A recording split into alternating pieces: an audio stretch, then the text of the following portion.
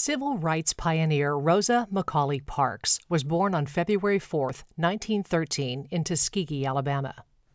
Shortly after her birth, her parents, James and Leona McCauley, moved here to a 260 acre farm owned by her grandparents, Anderson and Louisa McCauley. Her father, a builder, designed and constructed the Henry County Training School for black students in 1914. After a few years in Henry County, Rosa and her mother moved to Pine Level, Alabama, to live with her maternal grandparents, while her father went north seeking new building opportunities. Rosa married Richard Parks of Pine Level in 1932.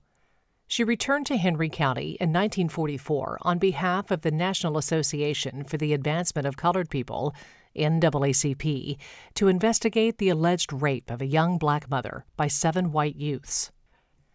Parks gained national attention on December 1, 1955, when she refused to relinquish her seat on a Montgomery, Alabama public bus to a white man. Parks wasn't the first person to resist bus segregation, but the NAACP believed that she was the best candidate for a court challenge after her arrest for civil disobedience. She helped inspire the black community to boycott the Montgomery buses for over a year the bus boycott earned her the title of Mother of the Civil Rights Movement in America.